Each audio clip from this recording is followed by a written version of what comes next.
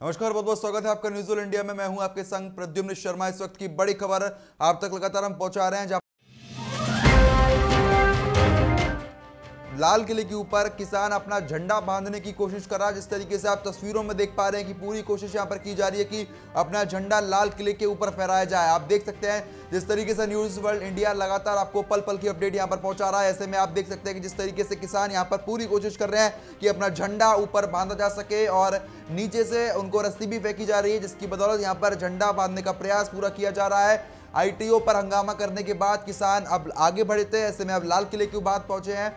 लाल किले पर पहुंचकर किसानों ने जमकर हंगामा किया, जिसके बाद अब किसान लाल किले के अंदर भी जा पहुँचे हैं। अब जिस तरीके से आप तस्वीरों में देख पा रहे हैं कि जहाँ पर किसान अब झंडा अपना झंडा जो है, वो यहाँ पर बाँध रहे हैं। जिस तरीके से आप देख रहे हैं, ऐसे में लगातार आंदोलन प्रदर्शन यहाँ पर जारी है और देश का अपमान तो लगातार किया जा रहा है, क्योंकि जिस तरीके से आप देख पा रहे हैं कि 26 जनवरी के पर्व पर जो कि किसी पार्टी, किसी का नहीं होता है, वो सिर्फ़ देश का एक खास दिन होता है और इस खास दिन को ऐसे प्रदर्शनकारी ने जो एक नया दिन के रूप में यहाँ पर दे दिया है, क्योंकि जिस तरीके से प्रदर्शन यहाँ पर जारी था, ऐसे में कई पुलिसकर्मी गंभीर रूप से घायल हुए थे।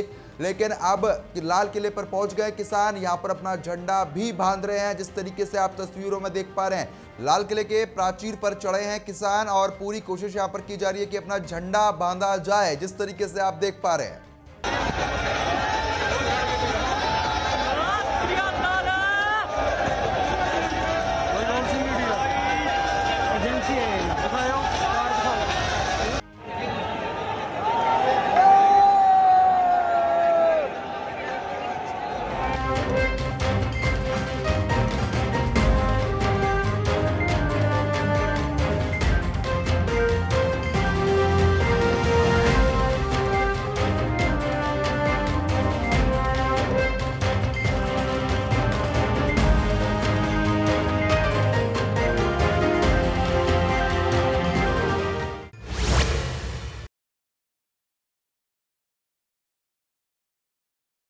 नगर पालिका फरुखाबाद की ओर से समस्त नगर वासियों को गणतंत्र दिवस की हार्दिक शुभकामनाएँ देता है और अपील करता है कि नगर को साफ़, स्वच्छ बनाए रखें। कूड़ा समय से बाहर फेंकें। नालियों में गंदगी ना करें।